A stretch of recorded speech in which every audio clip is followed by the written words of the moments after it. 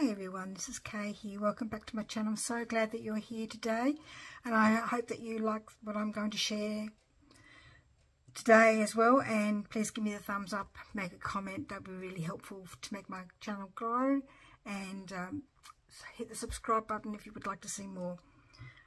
First of all I'm going to show you a envelope pocket that I made as for a swap that I'm in a, in a Facebook group with and it had to be a botanical um, kind of thing. So I've made mine into a herb one. So I've collaged the envelope both sides and put some washi tape down the middle.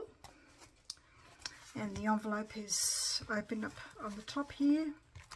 And inside the envelope pocket we've got on one side of the pocket we've got a little notebook with some papers in there different papers to be used by the person who gets the swap. They can add it to another journal of their own if they wanted to, I suppose. And made a, a tag for the other side where I've used the same paper as what the book was made out of. Um, journal on the back and at the front I made a pocket where I've put some herb things in for German cards, that one, and that one is just the decoration of the herb as well. Try to keep it all herbal. And that goes in this pocket. Oops, oh, sorry. Knocked my bit of papers over that I've left left here. That might have to put some more glue. Looks like it's come come off there. Oh no, well, and then also I've just um, put this on as a little extra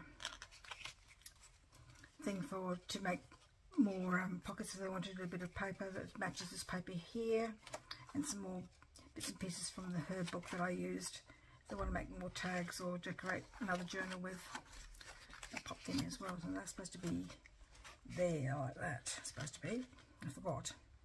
So there's that one from my Facebook share and then I finished this journal using Uniquely Creative Tapestry of Time kit and I did um, altered an old book so I wanted to keep the red around the around the outside because I thought that looked really really effective and um, I actually did want to keep just keep the red but I just couldn't work it out how to to make it look so it was really nice and I've got some corners coming so I'm going to put corners on there some lace on the spine here and the paper on the back is the same as the ones on the front. Um, it's got a ribbon closure with crinkled, what's it called? Ribbon? so inside I created a uh, some pockets using some envelopes. So I found some old photographs in a, in a magazine that I have and this is an old rabbit truck. And I found that I had a tapestry book so I thought that the field of top uh, poppies was really good for the pocket. So there's one pocket that I made out of one envelope. And there's two tags I made using the same the same book with the poppies being created on a field using tapestry and materials. So there's oh I need to do the back of that one um, so I'll keep it out. Um, so that is goes in there, and uh, that goes in the back of that one envelope, and then there's the other envelope here. And in the, that envelope, I've actually got a picture of a man sitting on the fence with his kelpie, and some uh, uh, Australian Land Army volunteers, which are helping out in the fields during the war and this was in the kit for some old back of Australia. There's nothing on the back they can use however like. So I just put that in there because and there's just the back of the envelopes to make it look um, as part of the journal. So they go back in there. I put them just on uh, ordinary card just to give them a bit of stability because they are paper from old old magazines. I'm going to keep this tag out because I need to fix it. I could do a bit more as well. Put that one back. So I've got two two um, signature. So they're both the same cover. This both came from the collection. I found some old Australian books. This is a um, story of the colonies.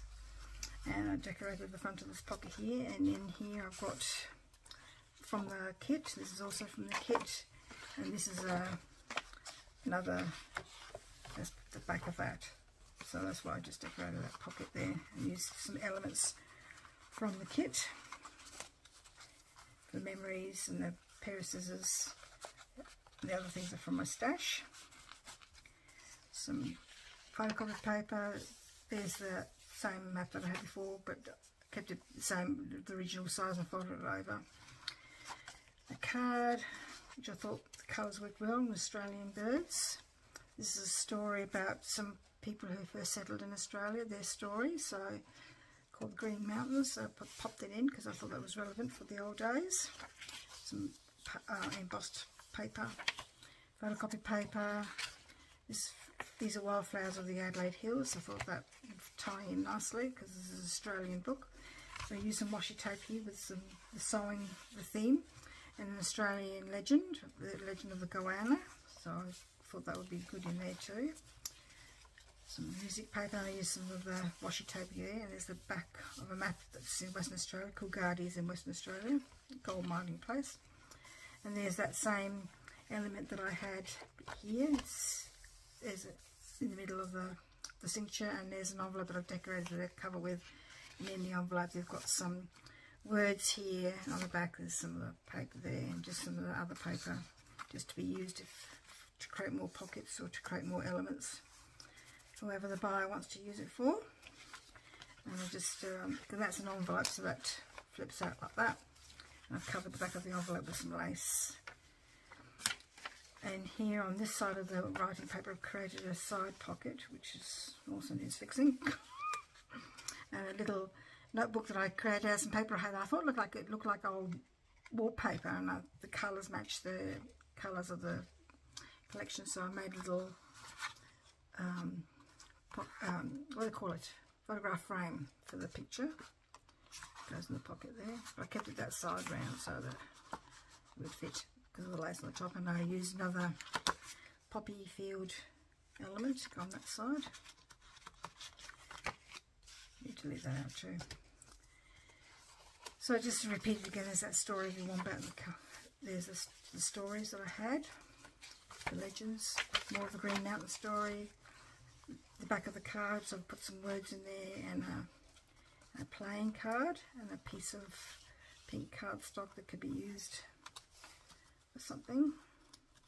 I use the pink cardstock on the front to create this here and here, so just a bit of continuity.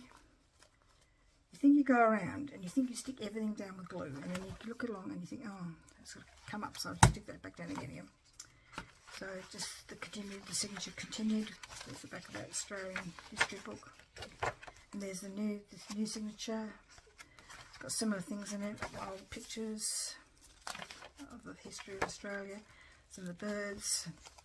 This is also a tapestry created at an Australian farm house, which I thought, in the country, which I thought would work really well in here. A Bit of ledger paper and some scrap paper, scrap paper left over from the collection and also I put a bit of uh, wallpaper because the inside of the journal has got wallpaper. You can't see it so much here, but you will be able to in the back when I show you that in a minute. So I've just popped them all this pocket that I decorated with elements from the kit.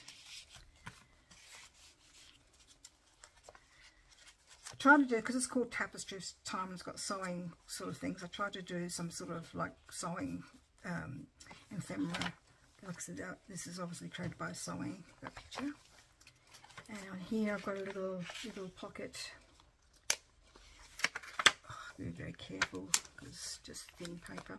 It's not even a little pocket, it's a little folder of some poppies and some roses if a person wanted to make it a bit of a, wanted to use some it for an Anzac memory, memorabilia or stories. Could do that. Back of that wildflower paper. some another little pocket here with some advertisements that come from the collection. It's a couple. The back they've got there's more.